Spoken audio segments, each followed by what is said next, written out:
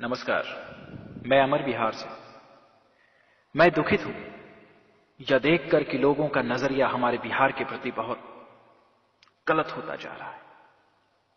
हिंदी फ़िल्मों में बिहार को माफियाओं का अड्डा दिखाया जा रहा है। बाहर के लोगों की एक मान्यता हो गई है कि बिहार में लड़कियाँ सेफ़ नहीं है। बिहार में लड़कियाँ रात को अकेले घर से बाहर नहीं निकल सकती। बिहार में कोई शरीफ इंसान नहीं रह सकता। बिहारी हर शब्द में गाली का इस्तेमाल करते हैं। तो दोस्तों, सच क्या है कि मैं आपको बताता हूँ। सुनिए।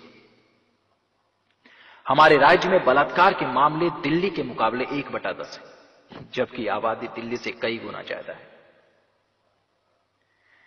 दंगों में जितने लोग गुजरात में मारे गए, उसके एक बटा पाँच भी बिहार में नहीं मारे गए। फिर भी हम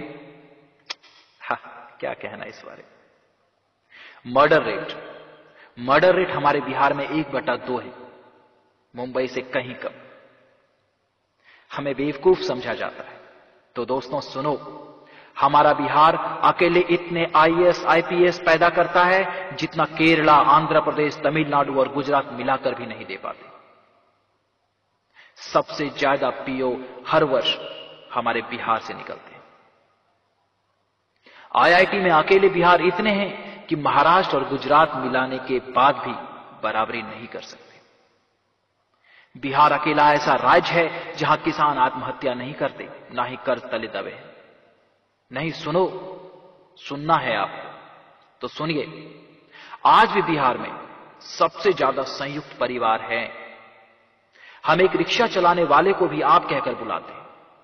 मैं बिहारी हूँ और बिहार से ज़्यादा महफूज अपने आप को कहीं नहीं पाता। हमारे बिहार के लोगों ने कभी किसी राज्य के लोगों का विरोध नहीं किया। किसी संप्रदाय को नहीं दबाया। यहाँ संस्कार बसते हैं। मुझे नाज है, मैं बिहार से हूँ, बिहार मेरे रगों में बसता है। अगर आपको बिहारी होने पर गर्व है तो इस ऑडियो को इतना शेयर करो, इतना शेयर करो कि हर बिहारी के मोबाइल में जय हिंद। जय भारत जय बिहार।